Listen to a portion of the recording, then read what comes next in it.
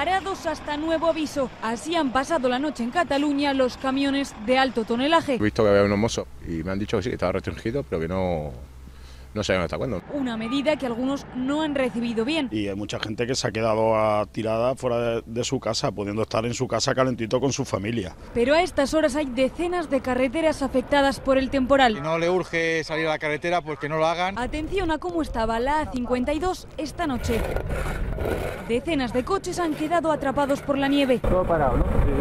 En Vitoria tendrán que ponerse varias capas de abrigo porque las temperaturas se desploman hoy hasta los 4 grados bajo cero. Parecemos cebollas. También se han quedado tiritando los termómetros en Palencia. Pues unos 4, 5, 6 grados bajo cero. Y hoy el temporal azotará con toda su fuerza en las Islas Canarias. Alerta naranja por viento y oleaje. El viento te tira bastante y caminar está complicado. La borrasca seguirá afectando durante toda la semana, pero a partir del jueves las nevadas quedarán restringidas a las zonas montañosas.